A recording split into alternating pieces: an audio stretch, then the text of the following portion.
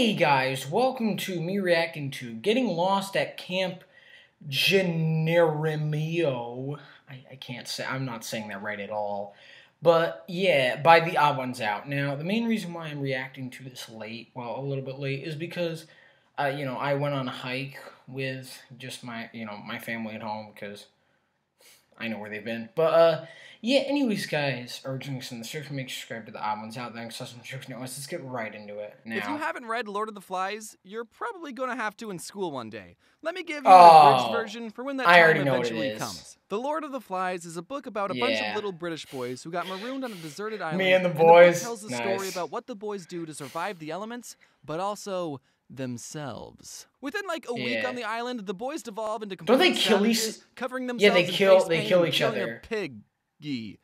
I said too much. And when I read the book in high school, I thought having the boys turn savage so quickly wasn't all that accurate. As a former young boy Well, yeah. myself, I was insulted that William Golding thought that us little boys were so heartless. But then I remembered all the things that happened at my scout camp, Camp Geronimo, and I realized that Geronimo, the oh. Is still inaccurate. The boys would have gone savage way faster. Listen, I'm a cautious person when I'm hanging around Nice. the guys. In PE, Hey. the other boys would be playing this game called You Quarters, have the guys? No. quarters at people's knuckles until they bled. But I wouldn't play that game because it's dangerous and I'm a loser. What's Or that? When I was at a party and someone wanted to play the knife game to show off how good their hand-eye coordination Oh, yeah. was. I wouldn't play that game either because I needed my hands to draw. But something about being with the guys in the middle of the woods, I would live on the edge. Every summer, our troop stayed at this camp Okay. called Camp Geronimo, named after the Apache Indian who was the first person to yell Geronimo while doing a sick backflip into his pool. One time, me and a couple other boys, I really? don't remember who started it, but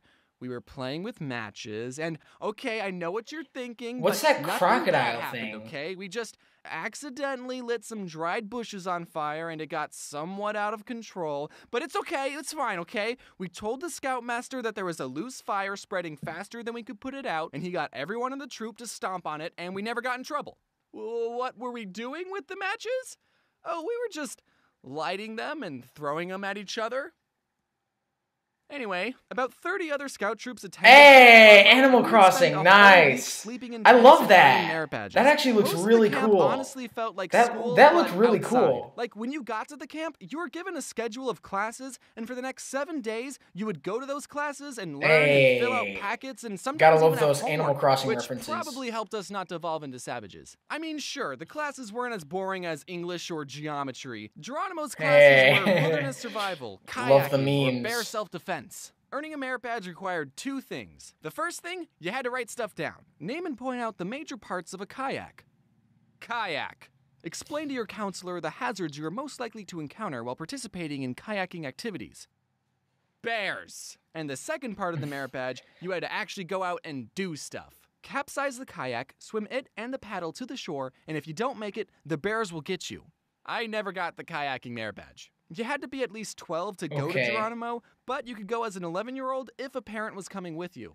And at the time, my dad was a camp counselor. My birthday was May 14th, and Geronimo oh. was Oh. at the end of May, so I barely made the cutoff as the youngest person going. Geronimo was a big step from spending three days at Cub Scout day camp to spending a week in the wilderness. What made it worse was I was going to be spending a whole week with Oh. all the mean older scouts and my dad. There was this one scout named Paul. When I was 11, he was 15. So naturally, he would pick on me and make fun of me. Oh. Haha, I get it. I'm small, so I suck. But silver lining, he got fatter, and a couple years ago, he reached out to me, and I had been doing the whole YouTube thing for a while. He was off starting his own business, and he wanted to do some business opportunity with me, and I just said, Hey, do you want to do my merch?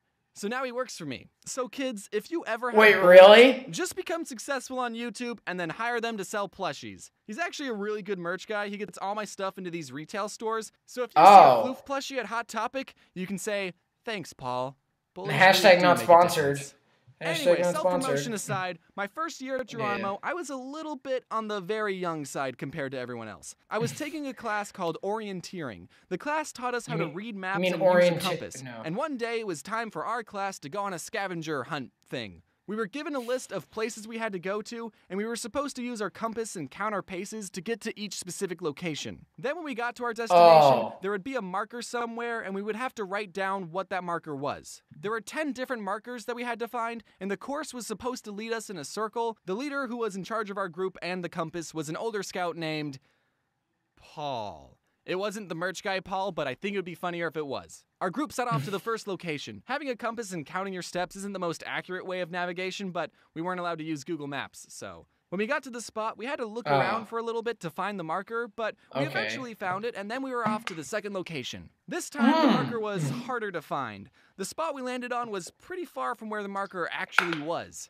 At the third location, we couldn't find the marker. But we did see this reflective sign on a tree, and we figured that's what the marker was supposed to be, so we wrote it down. At this point, I decided to grab my own compass and give it a try. Oh. My compass pointed in a direction that was a little bit off from Paul's direction. Not by a whole lot, but just enough. But remember, I was the little kid. Nothing I said mattered. Paul said things to me like, Oh, you don't know how to use a compass. I bet yours is broken. I'm never going to work for you one day. And you know what?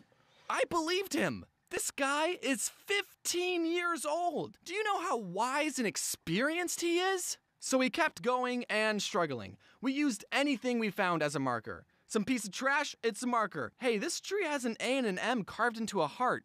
Kind of weird that it's at an all boys camp.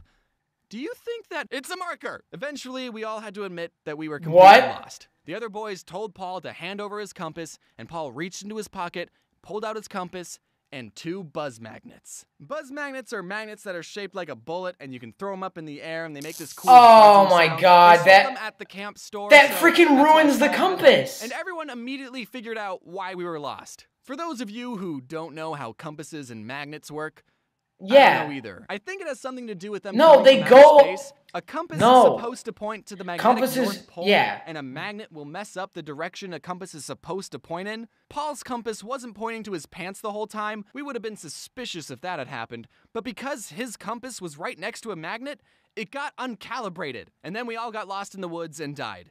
And that's why I don't have an orienteering merit badge. I was upset because my compass Oh. probably wasn't broken, but I didn't stand up for myself because I don't do that. I have more Camp Geronimo stories, like the time me and my friend threw a Ziploc bag full of water at the older kid's lean to, and then I ran away so fast that I threw up.